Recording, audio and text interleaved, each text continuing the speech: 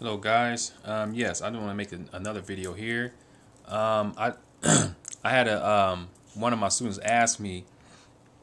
He he asked me how many words do I think we use to communicate on a daily basis, and I thought this was a very interesting question. So I figured uh, since I have you guys into languages like I am, maybe I, I would like to see what you guys think. How many how many words do we we need we actually need to communicate on a daily basis?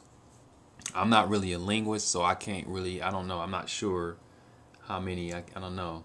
That's pretty difficult. It's a pretty difficult question for me. So, um, what what do you guys think? Is it I don't know um, more than five thousand?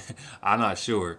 So yeah, what do you guys think? How many words do we actually need for full communication, like just basic communication, like we do every day. So I look forward to you guys' answers, and um, yeah, thanks for viewing.